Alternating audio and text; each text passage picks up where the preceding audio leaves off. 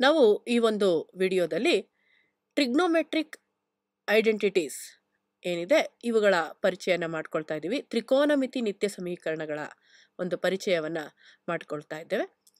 ಈ ತ್ರಿಕೋನಮಿತಿ ನಿತ್ಯ ಸಮೀಕರಣಗಳನ್ನು ಪರಿಚಯ ಮಾಡ್ಕೊಳ್ಳೋ ಮೊದಲು ತ್ರಿಕೋನಮಿತಿ ಅಂದ ತಕ್ಷಣ ನಮ್ಮ ಮನಸ್ಸಿಗೆ ಬರುವಂಥದ್ದು ಲಂಬಕೋನ ತ್ರಿಭುಜ ಆಗಿದೆ.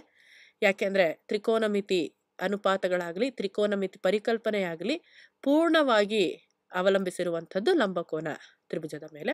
ಈ ಲಂಬಕೋನ ತ್ರಿಭುಜವನ್ನ ನಮ್ಮ ಒಂದು ಮನಸ್ಸಿನಲ್ಲಿ ತೆಗೆದುಕೊಂಡ್ವಿ, ಊಹಿಸ್ಕೊಂಡ್ವಿ ಅಂದಿದ ತಕ್ಷಣ ನಮಗೆ ಇದರ ಒಂದು ಸಂಬಂಧಿ ಪ್ರಖ್ಯಾತಿ ಪ್ರಮೇಯ ನೆನಪಿಗೆ ಬರುತ್ತೆ. ಅದು ಪೈಥೋಗ್ರೆಸನ ಪ್ರಮೇಯ. ಈ ಪೈಥೋಗ್ರೆಸನ ಪ್ರಮೇಯ ಏನನ್ನ ತಿಳಿಸುತ್ತೆ ಅಂತ ಹೇಳಿದ್ರೆ, ಅದು ನಮ್ಮ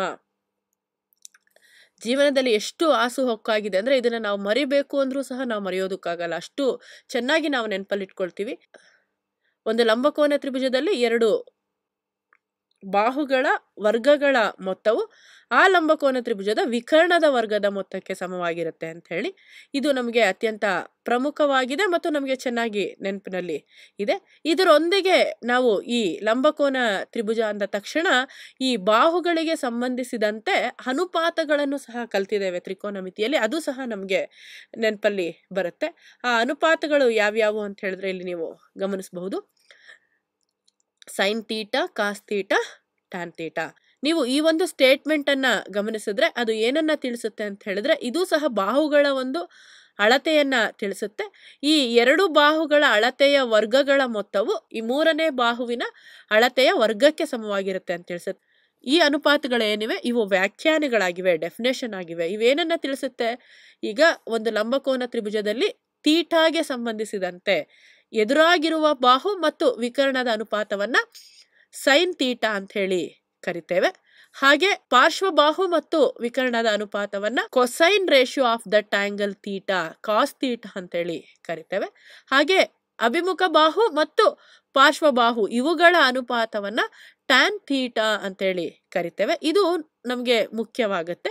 ಈ ಒಂದು ವ್ಯಾಖ್ಯೆಯನ್ನ ನಾವು ತಿಳಿದುಕೊಂಡು ತ್ರಿಕೋನಮಿತಿಯಲ್ಲಿ ಅನೇಕ ಸಮಸ್ಯೆಗಳನ್ನು ಪರಿಹಾರ ಮಾಡ್ತೇವೆ. ಹಾಗೆ ಈ ಅನುಪಾತಗಳು ಒಂದು ಕೋನ ನಿರ್ದಿಷ್ಟ ಇದ್ದಾಗ ಹೇಗೆ ಸ್ಥಿರವಾಗಿರ್ತವೆ ಅಂತ ಸಹ ನೋಡಿದ್ದೇವೆ. ಈಗ ಉದಾಹರಣೆಗೆ ಹಿಂದಿನ ವಿಡಿಯೋದಲ್ಲಿ ನಲವತ್ತೈದು ಡಿಗ್ರಿ ನಲವತ್ತೈದು ಡಿಗ್ರಿ, ತೊಂಬತ್ತು ಡಿಗ್ರಿ ತ್ರಿಭುಜ ಆಗಿರಬಹುದು, ಮೂವತ್ತು ಡಿಗ್ರಿ, ಅರವತ್ತು ಡಿಗ್ರಿ ಮತ್ತು ತೊಂಬತ್ತು ಡಿಗ್ರಿ ತ್ರಿಭುಜ ಆಗಿರಬಹುದು. ಈ ಅನುಪಾತಗಳ ಒಂದು ವಿಶೇಷ ಗುಣ ಏನು ಸ್ಪೆಷಾಲಿಟಿ ಏನು ಅಂತ ನೋಡಿದ್ವಿ. ಹಾಗಾಗಿ ಈ ವ್ಯಾಖ್ಯೆಗಳು ಸಹ ನಮಗೆ ಅತ್ಯಂತ ಪ್ರಮುಖ ಆಗ್ತವೆ. ಈಗ ನಾವು ಈ ಒಂದು ಸ್ಟೇಟ್ಮೆಂಟ್ ಏನಿದೆ, ಇದು ಬಾಹುಗಳ ಅಳತೆಗೆ ಸಂಬಂಧಿಸಿದಂತಹ ಒಂದು ವಾಕ್ಯ ಆಗಿದೆ ಸ್ಟೇಟ್ಮೆಂಟ್ ಆಗಿದೆ. ಇದನ್ನ ನಾವು ತ್ರಿಕೋನಮಿತಿ ಅನುಪಾತಗಳ ವಾಕ್ಯವಾಗಿ ಬರೆಯೋದಕ್ಕೆ ಸಾಧ್ಯವೇ?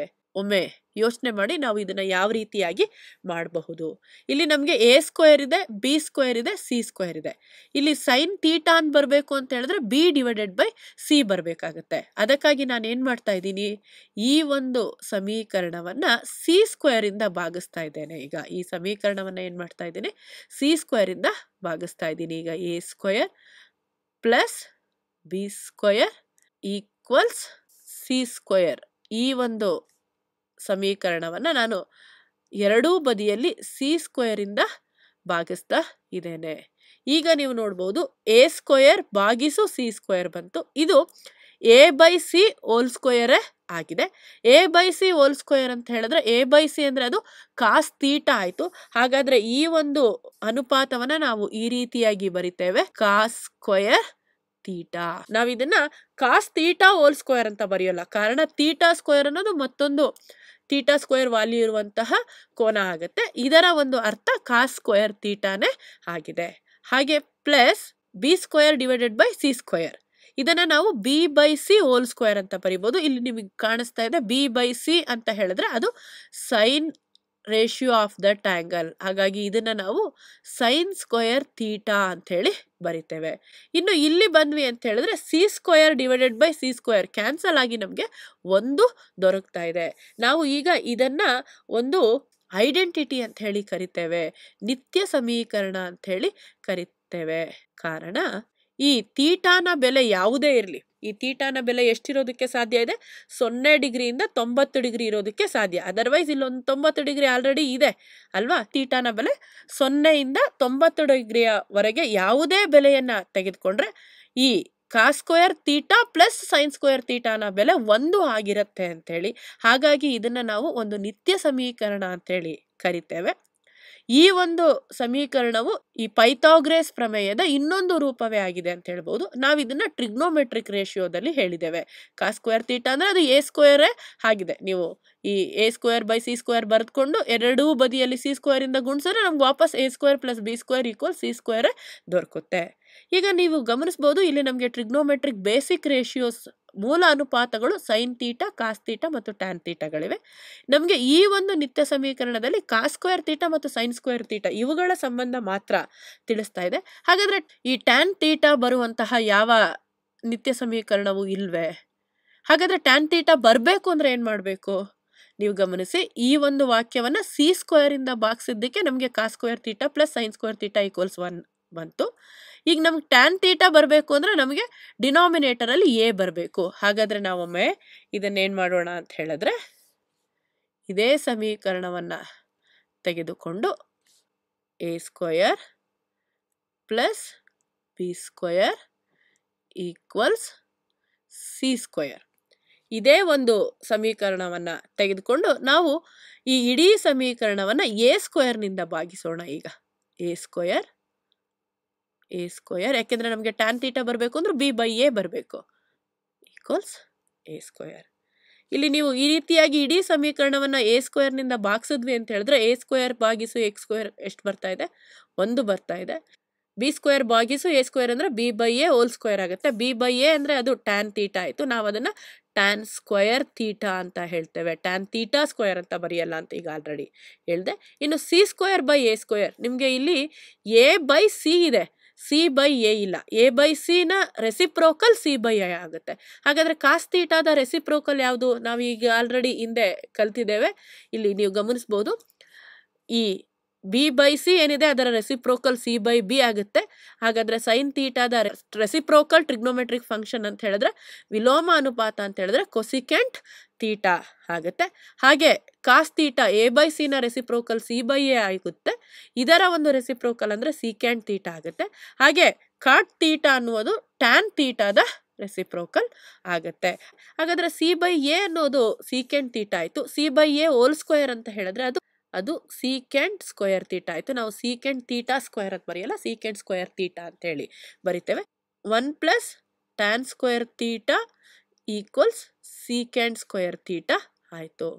ನೀವಿಲ್ಲಿ ನೋಡಿದ್ರೆ ಒನ್ ಪ್ಲಸ್ ಟ್ಯಾನ್ ಸ್ಕ್ವೇರ್ ತೀಟನ ನಾವು ಈ ರೀತಿಯಾಗಿ ಬರಿಬೋದು. Sine square theta divided by cos square theta ಹಾಗೆ ಸೀಕೆಂಡ್ ಸ್ಕ್ವೇರ್ ತೀಟ ಅಂದರೆ one divided by cos square theta ಆಗುತ್ತೆ. ಈಗ ಇದು ಮತ್ತೊಂದು ನಿತ್ಯ ಸಮೀಕರಣ ಆಯಿತು. ಇದು ನಿತ್ಯ ಸಮೀಕರಣ ಆಯಿತು ಅಂತ ಹೇಳಿದ್ರೆ ತೀಟಾನ ಯಾವುದೇ ಬೆಲೆ ಸೊನ್ನೆಯಿಂದ ತೊಂಬತ್ತು ಡಿಗ್ರಿವರೆಗೆ ಇದು ಟ್ರೂ ಆಗುತ್ತೆ ಅಂತೇಳಿ ಆದರೆ ಇಲ್ಲಿ ಒಂದು ನೀವು ಗಮನಿಸಬೇಕಾದಂತಹ ಅಂಶ ಏನು ಅಂತ ಹೇಳಿದ್ರೆ ಟ್ಯಾನ್ ಸ್ಕ್ವೇರ್ ತೀಟ ಅಂದರೆ sine square divide theta divided by cos square theta ಆಗುತ್ತೆ. ಹಾಗೆ ಸೀಟ್ಕೆಂಡ್ ಸ್ಕ್ವೇರ್ ತೀಟಾ ಅಂದರೆ one divided by cos square theta ಆಗುತ್ತೆ. ಇಲ್ಲಿ ಕಾಸ್ ತೀಟಾನ ಬೆಲೆ ಸೊನ್ನೆ ಆಯಿತು ಅಂತ ಹೇಳಿದ್ರೆ ಈ ಒಂದು ಐಡೆಂಟಿಟಿ ನಮಗೆ ಟ್ರೂ ಆಗೋದಿಲ್ಲ. ಅದನ್ನು ಹೊರತುಪಡಿಸಿ ಕಾಸ್ ತೀಟಾದ ಬೆಲೆ ಸೊನ್ನೆ ಯಾವಾಗ ಆಗುತ್ತೆ? ತೀಟಾ ನೈಂಟಿ ಡಿಗ್ರಿ ಆಯಿತು ಅಂತ ಹೇಳಿದ್ರೆ ಕೊಸೈನ್ ತೊಂಬತ್ತು ಡಿಗ್ರಿ ಆಯಿತು ಅಂತ ಹೇಳಿದ್ರೆ ಅದರ ಬೆಲೆ ಸೊನ್ನೆ ಆಗಿರುತ್ತೆ. ಡಿನಾಮಿನೇಟರಲ್ಲಿ ಸೊನ್ನೆ ಬಂತು ಅಂತ ಹೇಳಿದ್ರೆ ಈ ಒಂದು ನಿತ್ಯ ಸಮೀಕರಣ ನಮಗೆ ಟ್ರೂ ಆಗೋದಿಲ್ಲ. ಹಾಗಾಗಿ ಈ ತೀಟಾ ಅಂತ ಹೇಳಿದ್ರೆ ಸೊನ್ನೆಯಿಂದ ತೊಂಬತ್ತು ಡಿಗ್ರಿಯವರೆಗೆ ಅಂತ ಹೇಳಿದ್ರೆ ತೊಂಬತ್ತು ಡಿಗ್ರಿಯನ್ನು ಹೊರತುಪಡಿಸಿ ಈ ಇನ್ನೆಲ್ಲ ಕೋನಗಳ ಅಳತೆಗೆ ಈ ಒಂದು ನಿತ್ಯ ಸಮೀಕರಣ ನಿಜವಾಗುತ್ತೆ. ಈಗ ನಾವು ಈ ಒಂದು ವಾಕ್ಯವನ್ನು ತೆಗೆದುಕೊಂಡು ಸಿ ಸ್ಕ್ವೇರ್ನಿಂದ ಬಾಗಿಸಿದ್ದೇವೆ ಇಲ್ಲಿ ಎ ಸ್ಕ್ವೇರ್ನಿಂದ ಬಾಗಿಸಿದ್ದೇವೆ ಇನ್ನು ಬಿ ಸ್ಕ್ವೇರ್ನಿಂದ ಬಾಗಿಸಿದ್ರೆ ನಮಗೆ ಯಾವ ನಿತ್ಯ ಸಮೀಕರಣ ಸಿಗ್ಬೋದು? ಸ್ವಲ್ಪ ನೋಡೋಣ.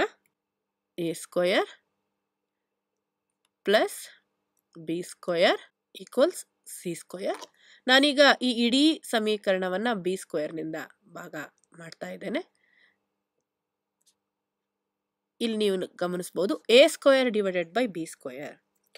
B by A ಅಂದರೆ tan theta A by B ಅಂತ ಹೇಳಿದ್ರೆ ಟ್ಯಾನ್ ತೀಟಾದ ರೆಸಿಪ್ರೋಕಲ್ ಆಗುತ್ತೆ. ಅದು ಕಾಟ್ ತೀಟಾ ನಾವು ಇದನ್ನು ಈ ರೀತಿಯಾಗಿ ಬರಿಬೋದು.